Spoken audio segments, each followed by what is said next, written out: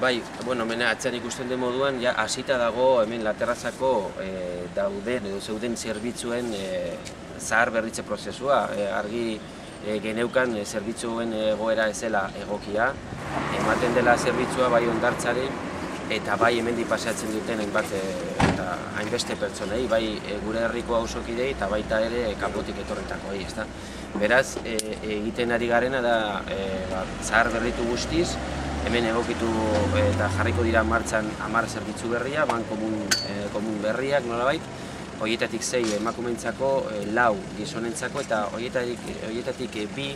iz, egokituak izango dira e, ba, mugitzeko arazoan dituzten pertsonentzako, horrela nolabait, nolabait irizgarritasunan aldeko politikei beste bultzaka da bat emanez, eta nik noski kokatu nahiko nuke e, ekintza edo ekimen berri hau azken batean ereagako esparru zabal honetan ari garen e, e, dinamizatzeko prozesu horren barruan, ezta? Horre gogoratu nahiko nuke, ba, pirileko e, e, ja, urbildeko nire honetan e, igritzeko tela sabatzeko dagola, baita manizazeko jatetxe berria, Fernando Canales e, restauradoria mutxotako ekimen berri hori, gogoratu ere, e, laola jatetzea ere e, esleituta dagola udalaren aldetik eta beraz martzan jarriko dela urte honetan, eta e,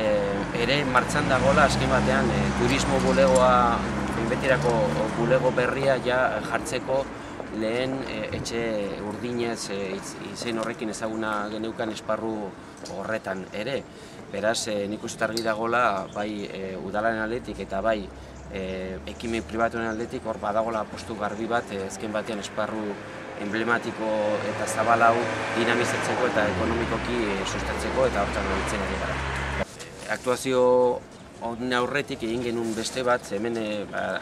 arazo bueno, garrantzitsuak zeuden saneamentuarekin, eta egin duguna da e, saneamentua zar berritzeko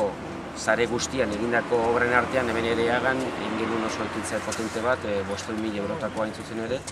eta egin duguna da e, ba, zerbitzu berri honen saneamentua konektatu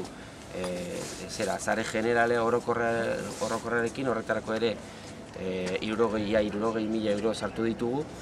e, azken batean ba, aurre egiteko eta berriz ez gertatzeko helburuarekin. Ba,